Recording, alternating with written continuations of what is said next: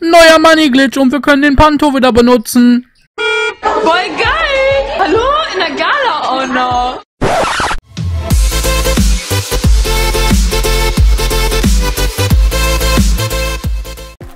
Was geht ab, meine lieben Freunde und herzlich willkommen, World's Finest Gamer am Start. Und heute habe ich mal wieder einen neuen Unlimited Money Glitch für euch, bei dem ihr auch wieder den Panto benutzen könnt. Erstmal muss aber gesagt werden, dass der Glitch auf dem Glitch basiert, den ich zuletzt hochgeladen habe mit diesem One-on-One Deathmatch. Geht jetzt als allererstes mal hin und tötet euren Kumpel und wartet, dass der euch die Einladung zum One-on-One Deathmatch schickt. Wenn er das dann getan hat, fahrt einfach mit gezogenem Handy auf eure Garage zu und wenn ihr an der Garage gerade ankommt, klickt ihr auf Annehmen. Steigt jetzt aus und wartet einige Zeit und dann seht ihr auch schon, dass vom Himmel ein zweiter Panto runterfällt. Am Steuer dieses zweiten Panto sitzt jetzt dann eine Figur, die genauso aussieht wie ihr und die mich jetzt hier wieder aus dem Auto rausgezogen hat. Diese müsst ihr dann im Zweifelsfall dann nochmal töten und jetzt könnt ihr in den Panto wieder einsteigen und losfahren.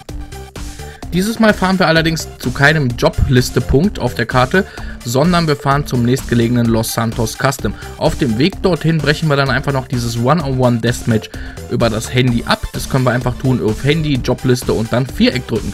Jetzt fahren wir dann ins Los Santos Custom rein und tun auf das Auto dann einen Peilsender drauf machen.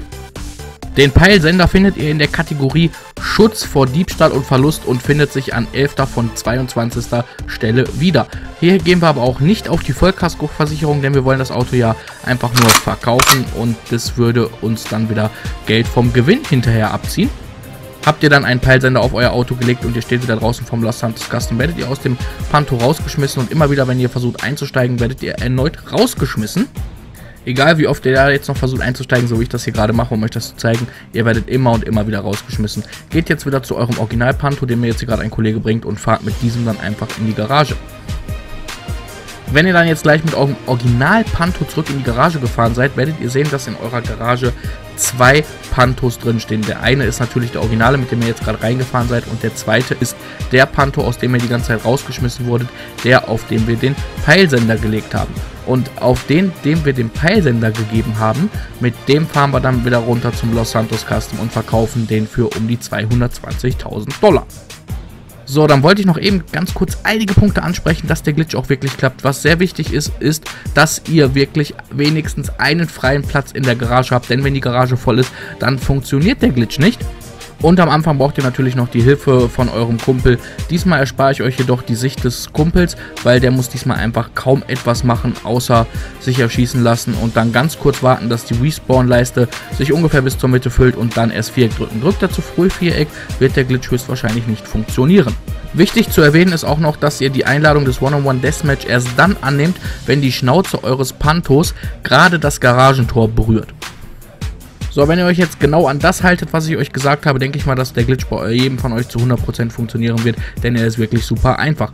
Es sei noch nebenbei erwähnt, ähm, dass dieser Glitch hier keinen Bypass hat, das heißt, wir können nur alle 45 Minuten einen Panto verkaufen und wir können mit diesem Glitch keine Pantos unseren Freunden rübergeben.